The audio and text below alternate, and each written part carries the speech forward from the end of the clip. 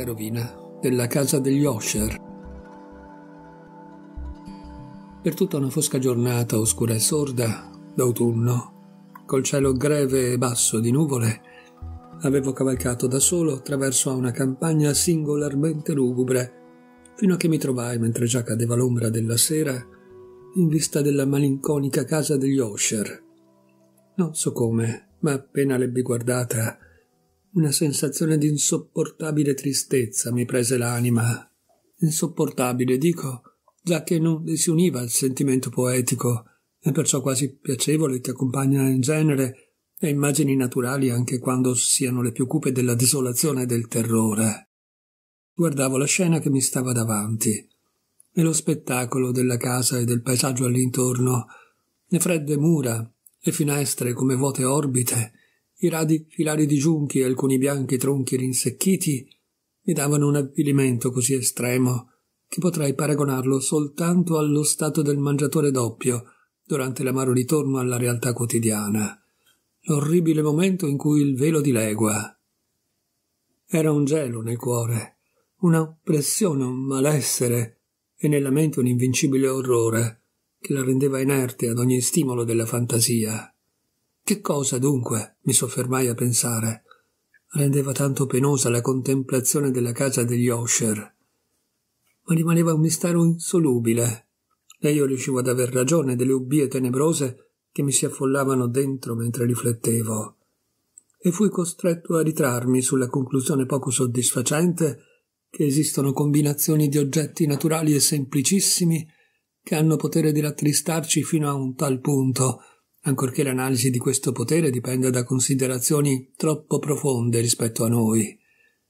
Pensavo che forse una qualsiasi differenza nella disposizione degli elementi della scena, dei particolari del quadro, sarebbe bastata a modificare o persino forse a distruggere tanta forza di dolorosa impressione. Condussi il cavallo sulla riva scoscesa d'un lugubre stagno d'acque morte che si stendeva nel suo luccicore presso la dimora. E guardai, ma ne ebbi un tremito ancora più profondo. Guardai riflesse, capovolte, le immagini dei giunchi di cenere, dei tronchi sinistri e delle finestre simili ad occhi vuoti. Era in questo soggiorno di malinconia che io mi disponevo non di meno a vivere per qualche tempo. Il proprietario, Roderick Usher, era stato fra i più cari compagni della mia infanzia, sebbene parecchi anni fossero trascorsi dall'ultimo nostro incontro. E tuttavia una lettera mi aveva ultimamente raggiunto in una lontana regione del paese. Una lettera di lui, il disperato tono della quale non ammetteva altra risposta che la mia presenza. La calligrafia palesava un'agitazione nervosa, ed Osher mi parlava di una acuta malattia fisica, d'uno squilibrio mentale che l'opprimeva e d'un ardente desiderio di vedermi, chiamandomi il suo migliore ed anzi unico amico. Nella gioia della mia presenza sperava trovare qualche sollievo al suo male. Fu il tono di queste parole e di molte altre ancora, fu la profusione di cuore che accompagnava questa preghiera a non concedermi modo di esitare, e senz'altro obbedii, pur non meravigliandomene, come d'un ordine singolare. Nonostante l'intimità che ci aveva uniti da ragazzi, io sapevo ben poco del mio amico egli aveva mantenuto d'abitudine un eccessivo riserbo. Mi era noto, tuttavia, che la sua famiglia antichissima si era distinta da tempo immemorabile per il temperamento d'una speciale sensibilità dispiegato attraverso i secoli in opere d'arte elevata e da ultimo in ripetuti atti d'una generosa quanto discreta carità, come nella vocazione appassionata per i labirinti della scienza musicale, più forse che per le sue ortodosse e facilmente riconoscibili bellezze. Avevo appreso anche che dal tronco tanto glorioso dell'antica razza degli Osher non erano sorti mai durevoli rami, che in altre parole, a parte qualche effimera eccezione, l'intera famiglia si era perpetuata nella pura sua discendenza diretta. Era stata questa mancanza, pensavo, e intanto fantasticavo sul perfetto combaciare del carattere del luogo con quello ben noto della razza, e riflettevo sull'influenza che in tanti secoli l'uno poteva aver esercitato sull'altro. Era stata forse questa mancanza di deviazione collaterale e la conseguente trasmissione continua di padre in figlio dell'eredità del patrimonio e del nome, a identificarli l'uno nell'altro fino a trasformare il titolo originario della proprietà nell'equivoco e strano appellativo di Casa degli Osher, l'appellativo che, per la rustica gente del luogo, sembrava comprendere insieme la famiglia e la sua dimora. Ho detto che il mio atto abbastanza infantile di guardare giù nello stagno aveva avuto per sola conseguenza d'approfondire la prima singolare impressione. E certo la coscienza del rapido intensificarsi della mia superstizione, perché la chiamerei altrimenti, era stata in qualche modo l'agente principale. Questa, lo sapevo da tempo, è la regola paradossale di tutti i sentimenti che hanno alla loro base il terrore. E forse soltanto per questo quando sollevai di nuovo lo sguardo dal riflesso nello stagno verso la casa, subì una bizzarra immaginazione, così ridicola davvero che ne parlo soltanto per mostrar l'impeto delle sensazioni che m'opprimevano. La mia fantasia era così eccitata che credetti di notare intorno alla proprietà un'atmosfera particolare, sua e degli immediati dintorni, un'atmosfera diversa da quella del cielo, ma che esalavano gli alberi intristiti, e la muraglia grigia e la silenziosa palude, una vaporosità pestilenziale e mistica, appena visibile ma fosca, inerte e color di piombo. Respingendo da me quel che doveva essere stato un sogno, cercai d'esaminar meglio l'aspetto reale dell'edificio. Carattere principale mi pareva un'eccessiva antichità. I secoli l'avevano profondamente scolorito al tetto, come un delicato intreccio di tessuto. Ma tutto questo non aveva provocato deperimenti straordinari. La fabbrica era intatta e c'era una contraddizione violenta fra il consistere ancora perfetto delle sue parti e il deperimento delle singole pietre, che mi faceva pensare all'integrità speciosa di qualche vecchia tavola di legno rimasta lungamente a marcire in una cantina dimenticata, lontano dall'aria esterna. Ma a parte questa corrosione di tutta la superficie, la casa pareva ancora abbastanza salda.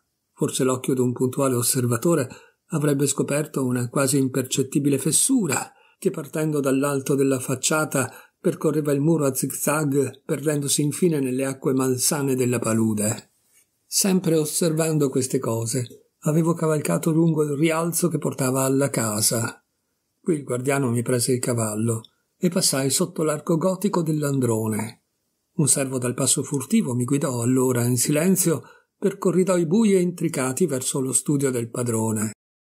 Molto di quel che incontravo per la via valeva non so come a rafforzare le oscure impressioni di prima, sebbene le cose fra cui passavo, i foschi arazzi alle pareti, i pavimenti color d'ebano e gli intarsi dei soffitti e i trofei fantasmagorici, le cui armature rumoreggiavano dietro ai miei passi, fossero ancora quelle o simili a quelle cui ero abituato dall'infanzia.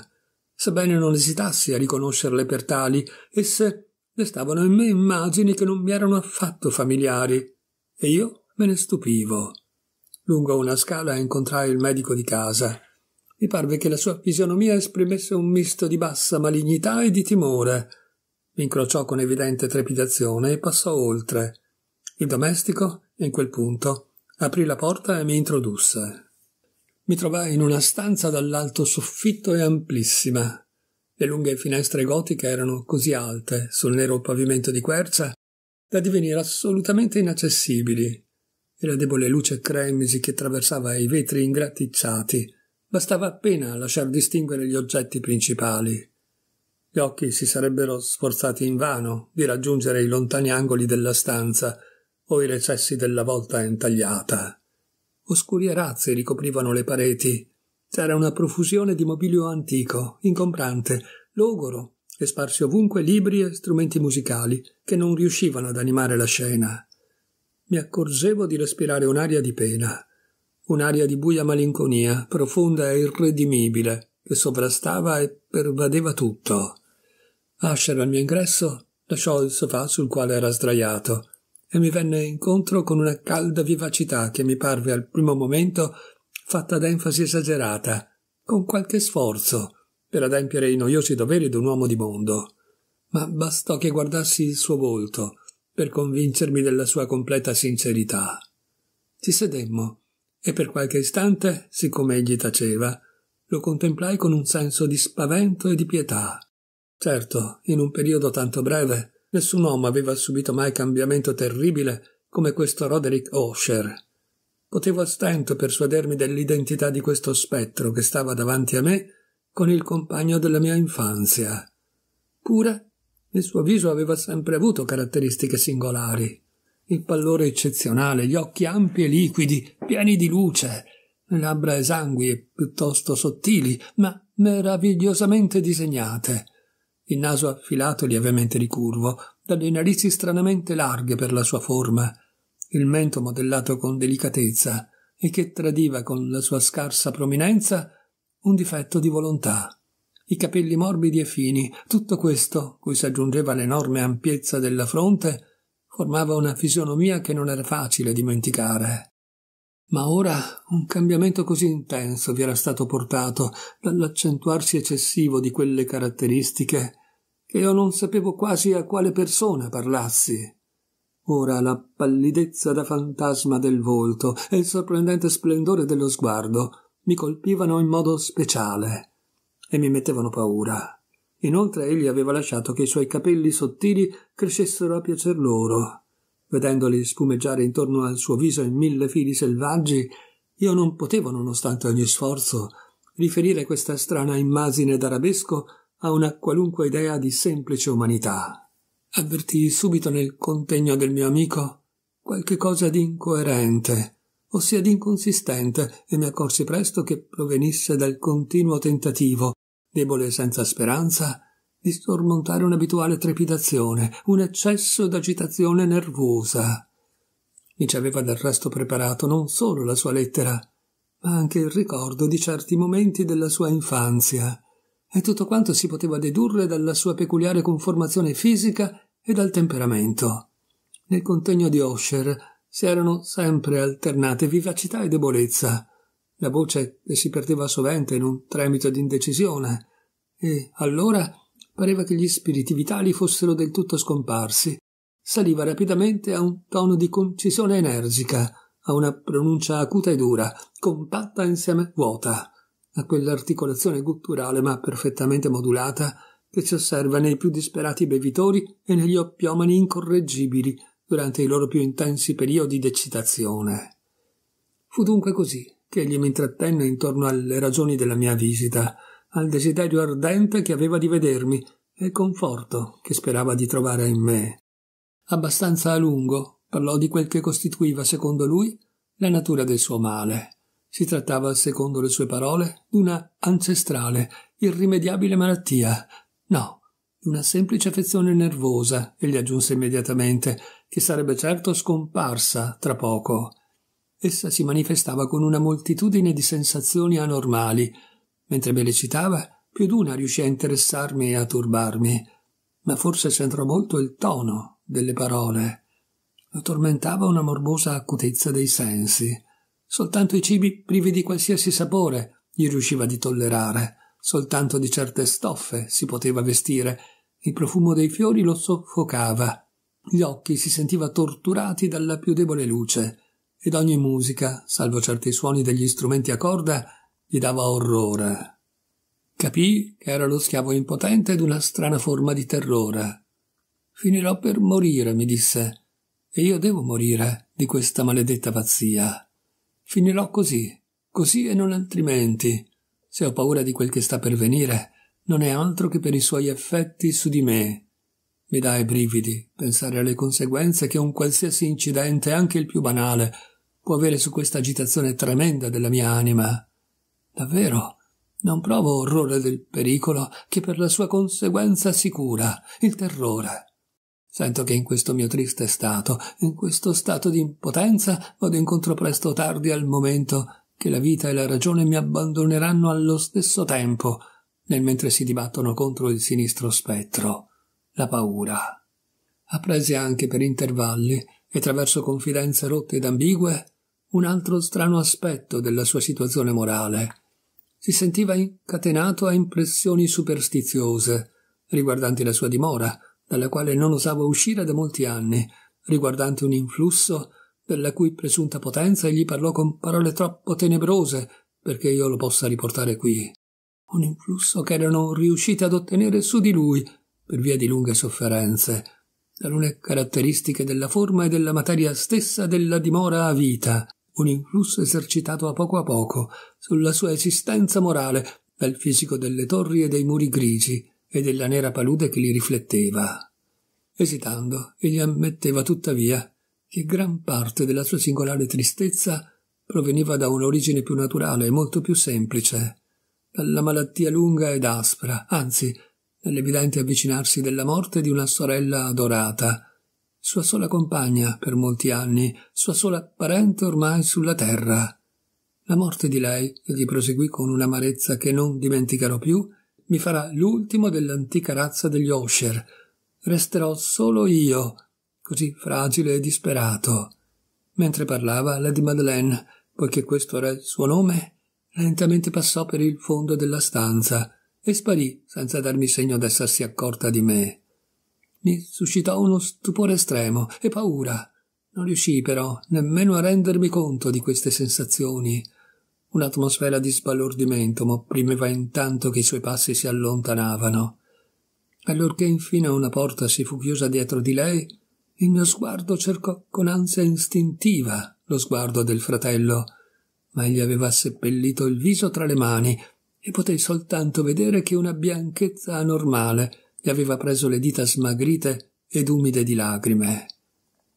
La malattia di Lady Madeleine si faceva gioco da tempo della scienza dei medici. Le strane sue caratteristiche consistevano nell'ostinata apatia, nel progressivo sfinimento del fisico, rotti da crisi rapide e frequenti di semicatalessi. Fino allora ella aveva portato il suo peso con fermezza e neppur si era rassegnata a restare a letto ma sulla fine della mia prima serata nella casa bisognò che cedesse, così mi informò durante la notte e con immensa agitazione il fratello, alla potenza del male. Seppi che probabilmente non sarebbe più apparsa al mio sguardo, che almeno vivente non l'avrei più riveduta. Né Osher né io per alcuni giorni pronunciammo il suo nome.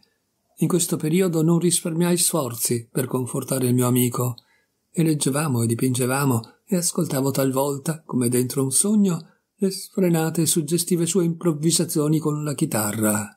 Meglio la nostra crescente intimità mi permetteva d'entrare nel fondo della sua anima e meglio potevo comprendere quanto amaramente inutili fossero tutti gli sforzi per risanare uno spirito dal quale il buio, come una qualità sua particolare e positiva, si riversava in un'incessante irradiazione luttuosa sopra tutti gli oggetti dell'universo peserà sempre su di me il ricordo delle molte ore gravi che trascorsi così, io solo, col padrone della casa degli Osher. Ma tenterei invano di riferire con esattezza il carattere degli studi ed occupazioni nei quali egli mi implicava. Una spiritualità morbosa illuminava le cose con il suo splendore di zolfo. Le lunghe nenie che Osher improvvisava risuoneranno eternamente nella mia mente e rammento in modo speciale una perversa e sconcertante deformazione dell'ultimo valzer, del selvaggio ultimo valzer di Weber. Quanto alla pittura che nasceva dal calore della tormentata immaginazione e che io vedevo concretarsi pennellata per pennellata in misteriose forme che più non riuscivo a comprendere e più mi facevano rabbrividire. Quanto alla sua pittura, benché ne abbia tuttora l'immagine viva davanti agli occhi, non saprei ridurne che una parte minima dentro al compasso della parola scritta. Il pittore afferrava, teneva stretta l'attenzione attraverso un'estrema semplicità e quasi nudità di mezzi. Se riuscì mai un mortale a dipingere un'idea, questo mortale fu Osher. Certo per me, nelle circostanze in cui mi trovavo, dalle astrazioni che il mio malinconico compagno si infervorava a dipingere, sorgeva una irresistibile impressione di terrore, impressione che non ha neppure per ombra provato a contemplare le pur incandescenti ma troppo concrete fantasmagorie di Fuseli. Forse una tra queste rappresentazioni fantasmagoriche del mio amico, perché meno rigidamente astratta, può venir lievemente adombrata dalle parole. Si trattava di una piccola tela con un interno di cantina o di sotterraneo rettangolare, immensamente lungo, dalle pareti basse, bianco, liscio, senza interruzione né ornamento. Alcuni particolari del disegno servivano a lasciar comprendere come ci si trovasse in una enorme profondità sotto la superficie della terra. Nell'ampia distesa del sotterraneo non si scorgevano uscite e non si scorgevano torce né altre sorgenti di luce ma un incomprensibile fiume di raggi lo riempiva d'uno splendore intenso, squallido e solitario. Ho accennato come il nervo acustico dell'infelice non tollerasse nessuna musica all'infuori che certi suoni degli strumenti a corda. Era stata forse la ristrettezza dei limiti dentro ai quali, per questa affezione morbosa, egli era costretto a suonare la chitarra, che aveva in gran parte provocato la bizzarria delle sue composizioni ma non si poteva pensare così della fremente facilità dei suoi impromptus. Sia le note sia le parole delle sue sfrenate fantasie, egli accompagnava spesso la propria musica con dei versi, dovevano essere ed erano infatti il risultato di quell'intensa concentrazione di forze spirituali che, come ho detto più sopra, si produce in momenti specialissimi della più acuta eccitazione artificiale. Ho potuto ricostruire facilmente nella mia memoria le parole d'una delle rapsodie. Mi impressionarono forse più del giusto quando le conobbi, perché nel loro profondo, o diciamo più mistico significato, credetti per la prima volta di scoprire una piena coscienza da parte di Osher che la ragione gli oscurava. Questi versi si intitolavano Il palazzo maledetto e se non precisamente, almeno pressappoco, suonavano così nella nostra più verde vallata, abitata dagli angeli, un palazzo grandioso una volta, una volta innalzava la fronte raggiante. Nel dominio del re pensiero la sua fronte si ergeva laggiù, ma spiegò Serafino le ali su dimora splendente così. Sulla cima ondeggiavano al vento vittoriose bandiere dorate. È lontan tutto questo nel tempo, è lontano, di tanto tempo fa, in quei giorni felici d'allora, a ogni fragile fiato di vento, lungo i chiari bastioni fra l'erba, passava un profumo leggero. Il viandante guardando il castello, due finestre lucenti scorgeva e là dietro movimenti armoniosi di fantasmi obbedienti ad un liuto, tutti intorno ad un trono seduto, Porfirogenito il re era nella sua gloria veduto. Scintillava di perle e rubini la porta del bel palazzo e ne usciva torrenti e torrenti una folla smagliante di echi, la cui dolce funzione era solo di cantare, cantare, cantare, con le voci più belle del mondo, la sapienza sottile del re. Ma geni del male vestiti a lutto assalirono la casa del monarca. Oh, piangiamo, piangiamo, che mai l'indomani avrà alba per lui sicché intorno alla casa la gloria, risplendente una volta di porpora, si è mutata in oscura memoria degli anni travolti laggiù. Chi percorre ancora la valle, dietro quelle vetrate rossastre, scorge forme in un moto confuso, ode musiche senza ritmo, mentre esce una folla di mostri attraversa la porta oscura, come un fiume lugubre in piena, ride, ma non sorride più. Ricordo con esattezza che abbandonandoci alla corrente di sensazioni e di idee destate da questa ballata, giungemmo ad un punto dove si rese manifesta un'opinione di Osher, che desidero citare non per la sua assoluta novità, poiché altri hanno affermato la stessa cosa, ma per l'energia ostinata con la quale egli la sosteneva. Questa opinione in complesso riguardava la sensibilità del mondo vegetale, sensibilità che Osher affermava con forza, ma nella sua mente eccitata essa aveva preso un carattere più audace e sotto certe speciali condizioni abbracciava l'intero mondo inorganico. Mi mancano le parole per esprimere la pienezza, l'accanita certezza di questa sua convinzione. Essa si riattaccava in ogni modo, come ho accennato, alla realtà singola della vecchia dimora, delle sue pietre grigie, le condizioni necessarie per la sensibilità erano state osservate qui, egli pensava, nel metodo seguito per collocare ogni pietra, nell'ordine che si era loro dato e nell'ordine naturale in cui le fungosità che le ricoprivano erano cresciute, in cui gli alberi intristiti le circondavano, soprattutto nella lunga immutabilità della scena e in quel suo riflettersi dentro le acque immobili dello stagno. L'evidenza di questo loro sentire si manifestava secondo Osher, e qui le sue parole mi fecero trasalire, nel concentrarsi lento ma costante di un'atmosfera particolare intorno ai muri, alle acque, ed egli aggiunse che se ne potevano vedere i risultati nell'influenza silenziosa ma crudele che aveva reso lui quale adesso lo vedevo, quale adesso era. Opinioni simili non si possono commentare. I nostri libri, i libri che per anni avevano formato non piccola parte della vita spirituale dell'infermo, erano, e lo si può immaginare, in relazione stretta col suo carattere di visionario. Leggevamo attentamente insieme opere come Verve e Chartreuse di Gresset, Belfagor di Machiavelli, Cielo e Inferno di Swedenborg, Il viaggio sotterraneo di Nicola Klim di Holberg, Le chiromanzie di Robert Flood, di Jean d'Indagine, di Della Chambre, Il viaggio dentro l'azzurro di Tic e La città del sole di Campanella. Fra i libri favoriti era una piccola edizione in ottavo del Directorium Inquisitorium del domenicano Aymeric de Chiron, e c'erano pagine di Pomponio Mela intorno agli antichi satiri africani e agli egiziani, sulle quali Osher restava a sognare per ore e ore. Ma la sua delizia era un quarto gotico eccezionalmente curioso, il manuale di una chiesa dimenticata, le vigilie mortorum secundum corum ecclesiae maguntine. Non potei a meno di ricordare le strane ritualità contenute in questo volume quando, una sera, dopo avermi bruscamente informato della morte di Lady Madeleine, egli mi comunicò la sua intenzione di conservare il corpo di lei per una quindicina di giorni, in attesa del definitivo seppellimento, in uno dei molti sotterranei scavati dentro le mura maestre dell'edificio.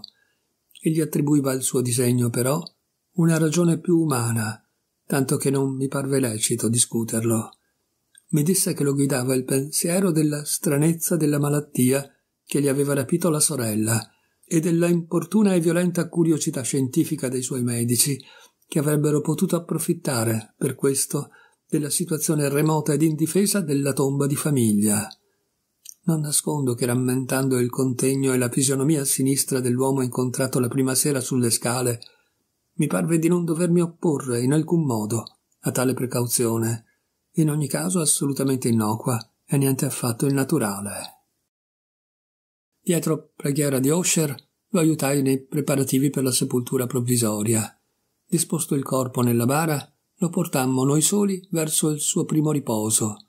Il sotterraneo dove lo deponemmo non veniva aperto da tempo infinito e le nostre torce, soffocate dall'atmosfera opprimente, davano scarsissima luce. Esso appariva piccolo, umido, senza comunicazione col chiarore del giorno.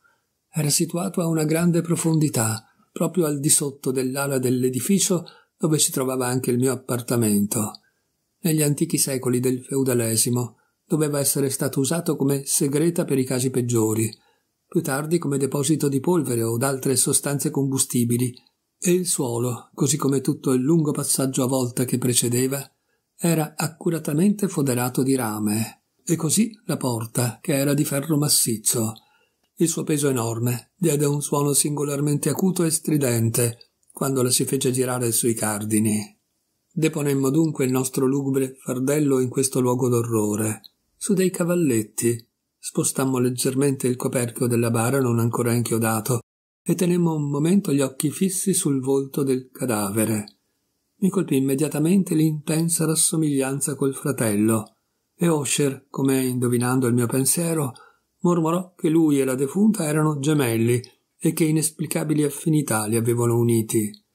I nostri sguardi, tuttavia, non restarono su di lei a lungo. C'era impossibile contemplarla senza terrore.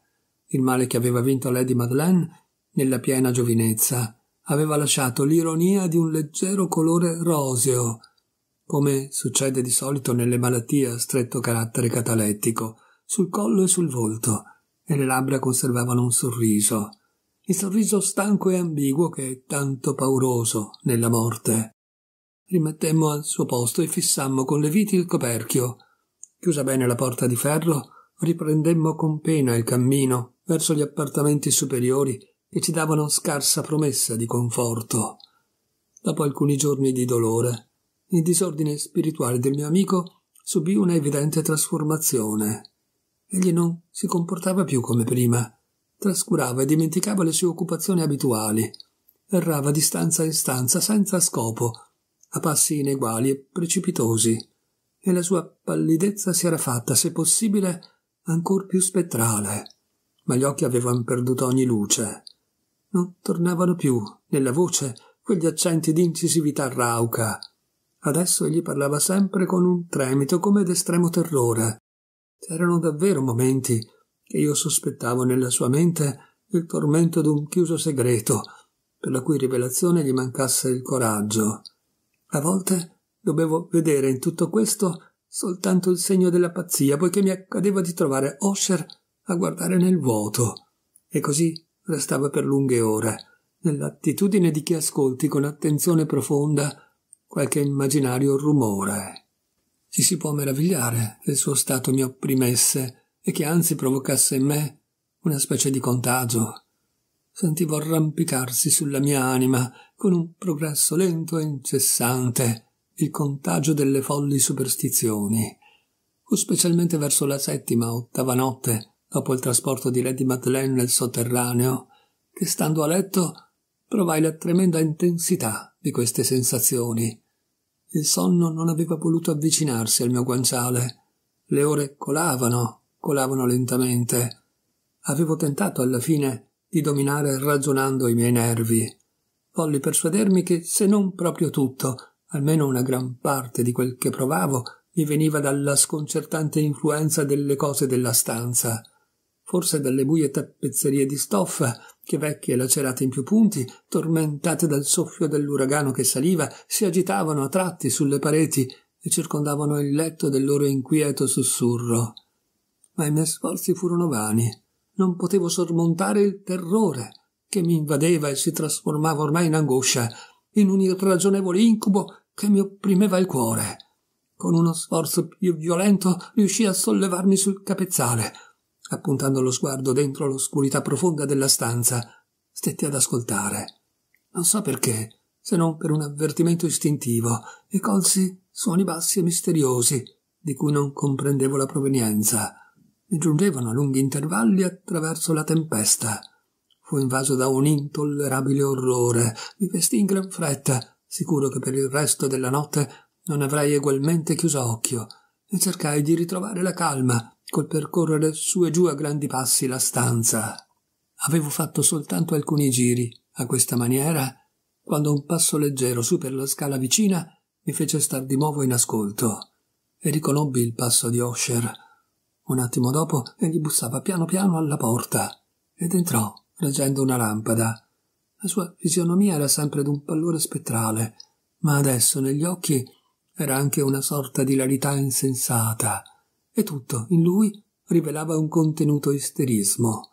Il suo aspetto era spaventoso, ma niente poteva valere in questo senso la solitudine che mi era pesata addosso così a lungo, e il suo ingresso mi fu di sollievo. E voi non avete veduto? egli esclamò di colpo dopo qualche istante di silenzio. Dunque non avete veduto? Aspettate, dovrete pur vedere. Così dicendo, dopo aver riparato con cura la lampada, corse precipitosamente verso una delle finestre e la spalancò sulla tempesta. Il furioso impeto del vento ci strappò quasi dal suolo. Era una terribile notte d'uragano, ma solennemente bella, unica nel terrore della sua bellezza. Un turbine si produceva evidentemente vicino a noi, perché il vento mutava continuamente di direzione e la densità eccezionale delle nuvole, così basse che sembrava schiacciassero i bastioni del castello, non ci impediva di distinguere la velocità con la quale, quasi avessero vita, accorrevano da tutte le parti dell'orizzonte una addosso all'altra, senza distendersi per lo spazio. Ho detto che la loro enorme densità non ci impediva di distinguere questo fenomeno. Eppure non c'era luna, non c'erano stelle, non c'era alcun riflesso di lumi. ma la parte inferiore di queste immense nubi agitate, così come tutti gli oggetti dei nostri immediati dintorni, lucevano del soprannaturale chiarore d'una esalazione gassosa, che pareva sempre languente e restava tuttavia visibilissima, avvolgendo la casa nel suo sudario. Voi non dovete, voi non potete vedere questo, gridai, gridai con un fremito a Osher, e con dolce violenza lo allontanai dalla finestra, lo costrinsi a sedere. Queste visioni che vi esaltano, proseguì, sono semplici fenomeni elettrici abbastanza comuni, o forse prendono la loro sinistra origine dai miasmi pestiferi dello stagno. Chiudiamo la finestra, quest'aria gelida non vi può che far male. Ecco uno dei vostri romanzi preferiti. Lo leggerò, voi ascolterete. E questa terribile notte così la passeremo insieme. Il vecchio libro che avevo preso era Mad Trist di Lancelot Kenning, ma soltanto per modo di dire gli avevo attribuito la qualità di libro preferito, perché in vero, nella sua scialba e goffa prolissità, c'era poco che potesse soddisfare la spiritualità altissima del mio amico. Eppure, come era il solo che avessi a portata di mano, mi abbandonavo alla vaga speranza che l'agitazione cui Auscher continuava ad essere in preda trovasse qualche sollievo. La storia delle malattie mentali è piena di simili anomalie, appunto nell'estrema assurdità di quanto stavo per leggere. A giudicare dall'attenzione tesa con la quale venni subito ascoltato, o mi parve venissi ascoltato, avrei potuto rallegrarmi per il successo del mio espediente. Arrivai a quel conosciutissimo punto del racconto in cui Ethelred, l'eroe di Mad Trist, dopo i vani tentativi per entrare pacificamente nella dimora dell'eremita, si dispose ad usare bravamente la forza.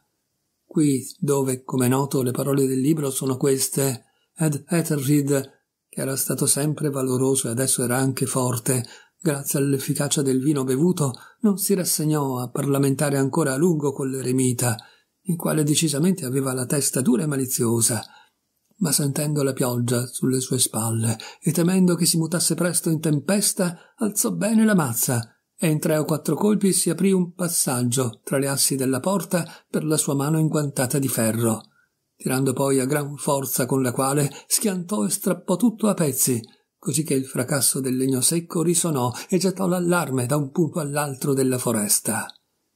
Avevo terminato appena questo periodo, che trasalii, arrestandomi un momento M'era sembrato, ma subito pensai a un gioco dell'immaginazione, udire in una parte remota della casa come un'eco esattamente analoga, benché soffocata e sorda, al rumore di legno schiantato e strappato a pezzi, che era stato con tanta proprietà descritto da Sir Launcelot.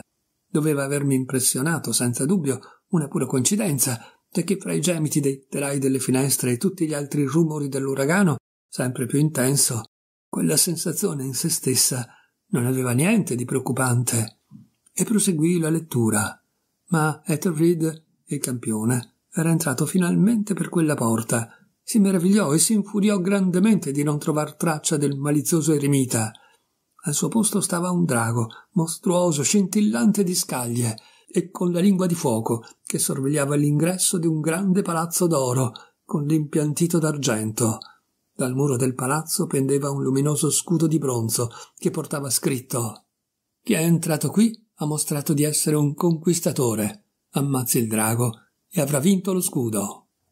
Ed Ethelred sollevò di nuovo la mazza e la calò potentemente sulla testa del drago, il quale cadde ai suoi piedi rese l'anima pestifera con un urlo così orrido ed aspro, insieme così penetrante, che Ethelred Dovette sbarrarsi le orecchie con le mani per non udirne il suono spaventoso, il peggiore che avesse mai udito. Qui ancora dovetti fermarmi, e stavolta con smarrimento. Non c'era dubbio adesso che io non avessi udito, ma non avrei saputo dire in che direzione, un suono basso e apparentemente lontano, ma lungo, aspro e stranamente stridente, in analogia perfetta con quel che avevo immaginato dell'urlo soprannaturale del drago.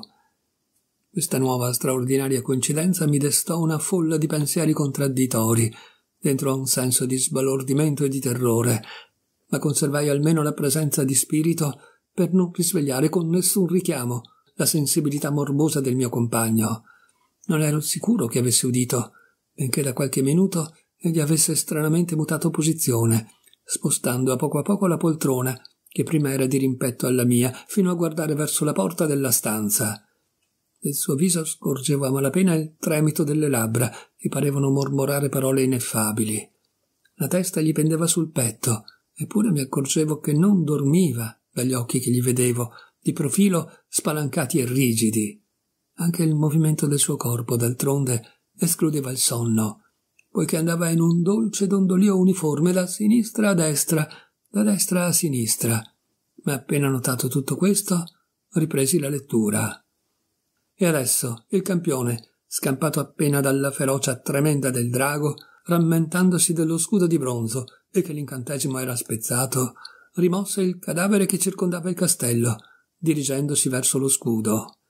Ma in verità questo non attese la sua venuta, e da solo gli cadde ai piedi, con uno strepito metallico, vasto e potente. A questo punto, come se davvero uno scudo di bronzo fosse caduto pesantemente sopra un impiantito d'argento, avvertì con precisione un rumore metallico, profondo, sonoro, ma come soffocato. Coi nervi stravolti balzai in piedi. Il movimento del corpo di Osher continuava ininterrotto, uniforme. Mi slanciai verso la sua poltrona. Gli occhi di lui rimanevano fissi verso la porta e tutto il viso era d'una rigidezza di pietra. Ma quando gli toccai la spalla con la mano, un brusco fremito lo percorse da capo a piedi un sorriso malato tremolò sulle sue labbra e vidi che, come non curante della mia presenza, egli mormorava parole precipitose, inarticolate. Piegandomi su di lui, riuscii finalmente a comprendere il loro tremendo significato. Non sentite? Io sento, sì, e ho già sentito. A lungo, a lungo, a lungo, per tanti minuti, per tante ore, per tanti giorni. Ho sentito, ma non osavo. Oh, Pietà di me, sciagurato che sono. Non osavo, non osavo parlare. Noi l'abbiamo chiusa ancora viva nella tomba e ve l'ho detto che ho dei sensi acuti. E ora vi dico ho avvertito i suoi primi deboli movimenti dentro la bara. L'ho avvertiti da molti, da molti giorni, ma non osavo, non osavo parlare. E adesso stanotte, Etazid, ah, ah, la porta dell'eremita che va in pezzi, e il tremendo rantolare del drago, e lo strepito dello scudo. Dite piuttosto lo squarciarsi della bara, e lo stridore dei cardini di ferro, e la marcia disperata lungo il corridoio foderato di rame. Oh, dove posso fuggire? Forse lei non giungerà subito. Non si precipiterà forse a rimproverarmi la mia fretta. Non ho già avvertito i suoi passi, su per la scala, non distingo forse il battito pesante, terribile del suo cuore. Insensato!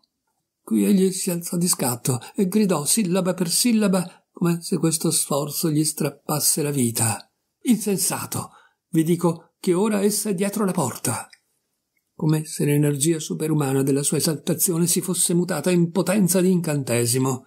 I grandi battenti d'antico ebano che Osher indicava spalancarono con lentezza in quell'istante le pesanti mascelle. Fu conseguenza d'una furibonda ventata, ma dietro la porta stava, nel suo sudario, l'alta figura di Lady Madeleine Osher. C'era sangue sulle sue vesti bianche e tracce d'un combattimento atroce in ogni punto della persona.